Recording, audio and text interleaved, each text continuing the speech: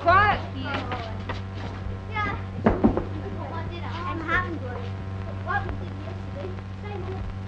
Thank you for the world so sweet. Thank you for the food we eat.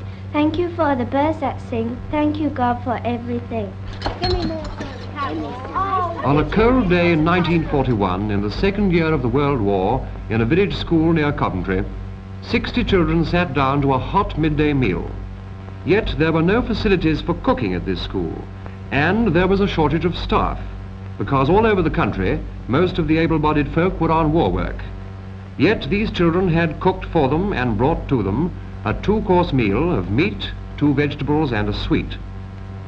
The story of how this was done, the story behind this one quiet village incident, is a national one. We were at war. Young Tim, practicing navigation in his soup plate, didn't know it, but war had found us relying for more than half the food we ate on overseas supply. The enemy knew this only too well, and they were quick to concentrate on stopping our food getting here. So we had to grow more of our own food.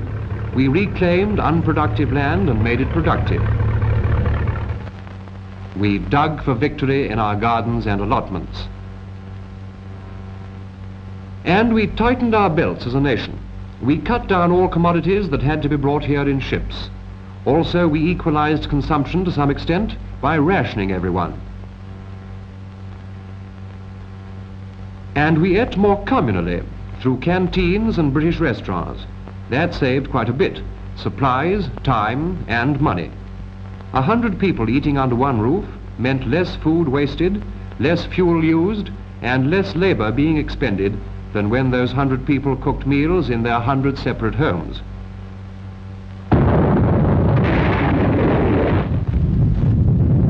But there came the Blitz, and that was no respecter of restaurants. Often in whole areas, electricity, gas, and water were put out of action. That meant no hot meals for the time being. What was needed was a plan to bring meals from wherever they could be cooked to the people wherever they needed them. But how?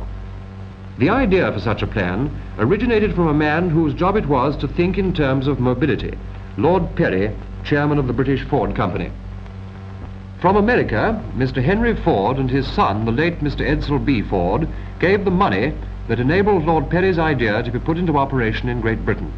The idea was explained to the Ministry of Food and a trust was formed, the Ford Emergency Food Vans Trust. A specially designed vehicle was evolved by Ford engineers, planned to accommodate hot meals and transport them under all conditions. The original fleet of 350 vans was added to by donations from as far afield as Australia, Canada, India, New Zealand, South Africa and Malaya to make a total fleet of 450.